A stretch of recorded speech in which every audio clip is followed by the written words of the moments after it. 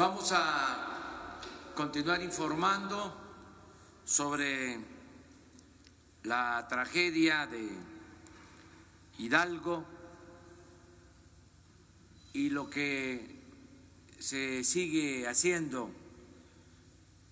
sobre todo para atender a heridos, a los que están en hospitales con el propósito de salvar vidas.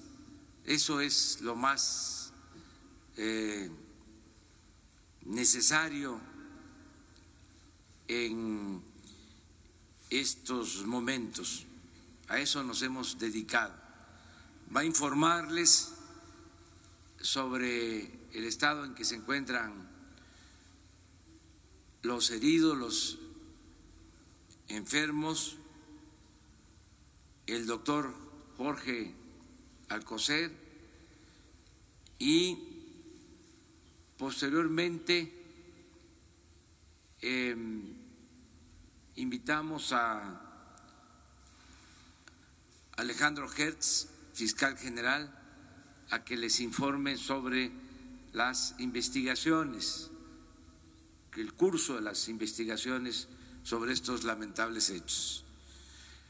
Quiero eh, aclarar que Alejandro Hertz, nuevo fiscal general, de conformidad con la ley, eh, debe actuar con independencia, con autonomía completa, absoluta. Si bien es cierto que debemos de coordinarnos y cooperar. La Fiscalía es un organismo autónomo, independiente. Por lo mismo, estamos ante una situación de participación transitoria con nosotros sobre todo eh, de carácter público. Esto no debe de em, pasar normalmente porque, insisto, la Fiscalía es autónoma, es independiente y así queremos que sea. Nunca nosotros vamos a dar ninguna orientación, consigna, como era antes, cuando existía la Procuraduría General.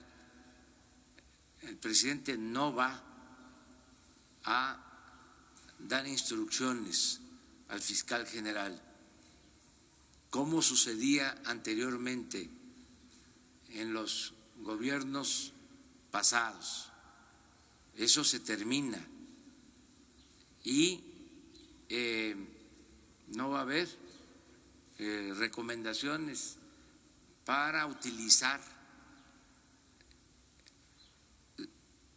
la fiscalía en contra de adversarios o para represalias. No se va a ordenar al Ministerio Público para fabricar delitos a opositores. Todo eso se termina por completo. Cierro el paréntesis para este, dejar constancia de que las cosas son distintas completamente. Y vamos eh, a darle la palabra al doctor Jorge Alcocer.